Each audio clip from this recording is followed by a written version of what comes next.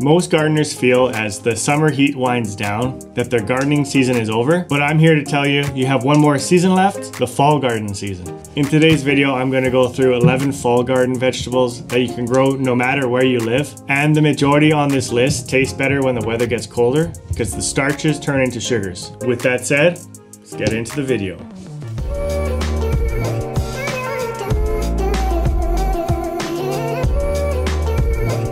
Hey, it's Devin from Devin the Gardener, growing in a zone 4B, where I'm trying to inspire as many people as I can to start gardening. So number one will be your spinach. On average, spinach takes 40 to 50 days to maturity. Spinach is one of the most cold hardy vegetables that I've grown in my garden. It can handle temperatures as low as 14 degrees Fahrenheit or negative 10 Celsius and still thrive. This year I tried to extend my growing season by placing a humidity dome over my spinach plants when there would be a light frost. For every extra layer that you put over your spinach plants, you actually increase your gardening zone by 1.5 or that's about 10 degrees Fahrenheit. To get better germination with your spinach seeds, put them in the freezer for a couple days, then place them in a damp paper towel and into the fridge for 24 hours before you plant them. My favorite spinach seeds that I've tried so far is the Monstrous de Viroflay, the Yukon, and they Renegade. So number two are my carrots. On average, carrots take 60 to 80 days to maturity. Carrot taproots need a really loose soil to grow deep.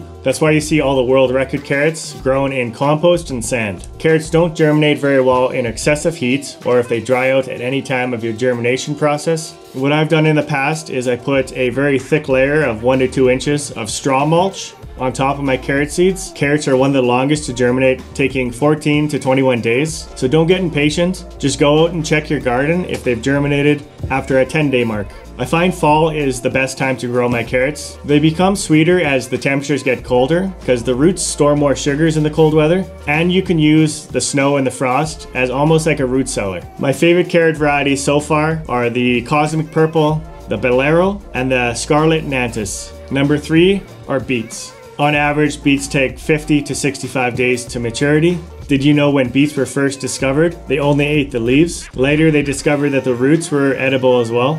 You can actually take one of the leaves off each of your beet plants and it won't stunt any of the beet growth. Beets take around two weeks to germinate, and if you want really massive beets, then space them out four to five inches. Each beet seed, when you plant them, is two to four seeds. And one trick I do is I just let all the seeds that germinated grow to around one or two true leaves, and I'll harvest the least healthy looking beets. You kind of get a two harvest system without thinning. My favorite beet varieties so far are the Red Ace, the Dark Red, and the Touchstone Gold. So number four are beans. On average, beans take 50 to 65 days to maturity. I actually had a ton of trouble growing beans for many years. You want to harvest your beans as often as possible. The more you pick, the more beans that would be produced. How the plant grows is it'll grow, it'll produce flowers, and it'll produce beans. If you don't pick the beans, then it tells the plant that it should focus all its energy on surviving and developing the actual bean itself. There was a study in the 1980s where they added nitrogen to the bean plants at different times of their life cycles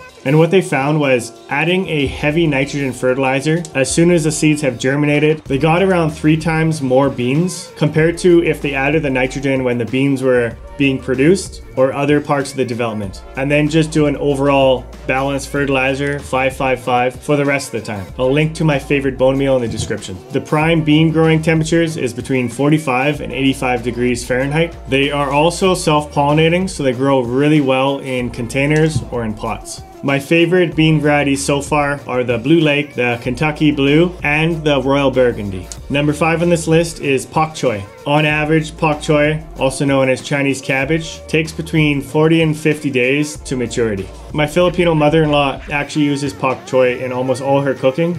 It's kind of where I learned about pak choi. It wasn't a very common thing for me to eat, Fall is a perfect time to grow your pak choi because it doesn't do well in the summer heat. And the best time to harvest your pak choi is when the leaves are three to five inches. They taste the best that way. My favorite pak choi variety so far is the Toi Choi and the Joi Choi. They're funny names, but they taste fantastic.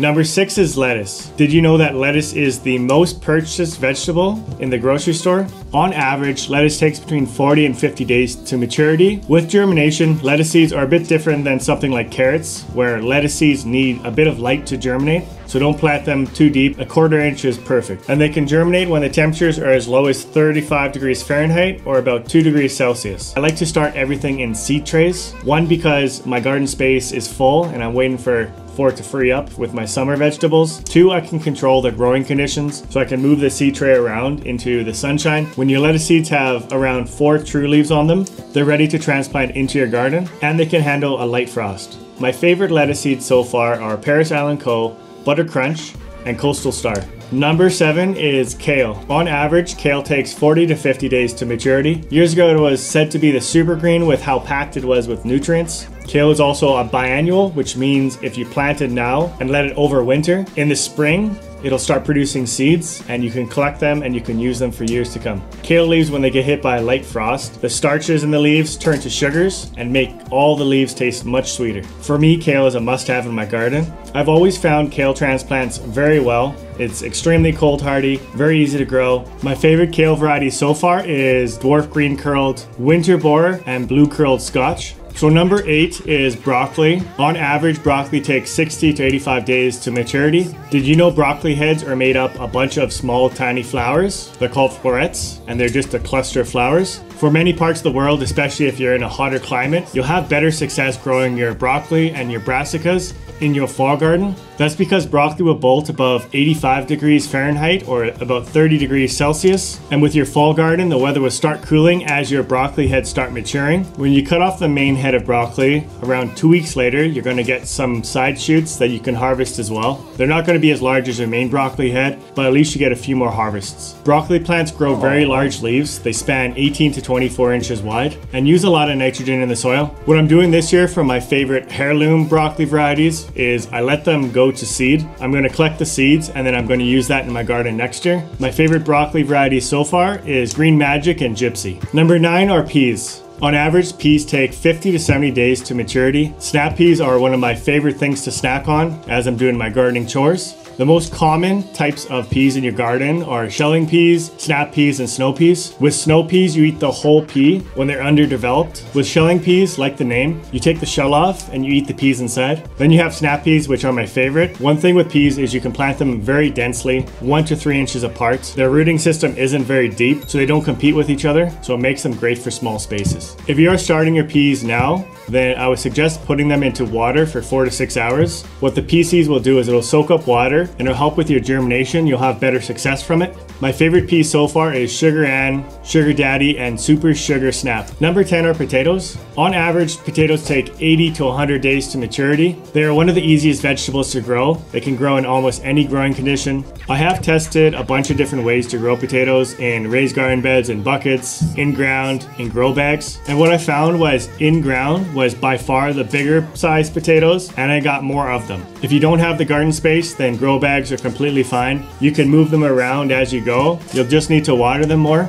To get a head start, chit your potatoes three to four weeks before you plan to plant them into your garden. That's leaving your potatoes in a dry, cool location with a bit of sunshine and you'll see eyes start to grow. Chitting is great for people that live in short growing seasons. I haven't found much of a difference if you cut them in half or use a whole potato. The only thing is the cost of the potatoes. You get double if you cut them in half. My favorite potato variety so far is the Yukon Gold, the Red Pontiac, and the Kennebec. Number 11 are radishes. On average, radishes take 24 to 40 days to maturity. What I did this year was went radish crazy. Under all my summer crops, like my tomatoes, I would prune the bottom six inches so they don't get blight. I'd sow radishes underneath everything because they're not going to go very deep. They're not going to interfere with your tomatoes and they'll mature before your tomatoes actually need the garden space. For a radish that grows in 24 days, the Charot is one of my choices. For a 28 day radish, the Easter egg is a great choice. For a 30 day and one of my favorites is the French breakfast. If you're impatient like me or you don't have a lot of time left in your fall garden, then radishes are a great thing in your fall garden.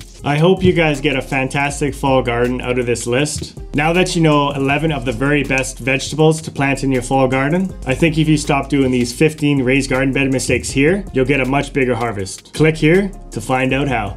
Love you. Bye.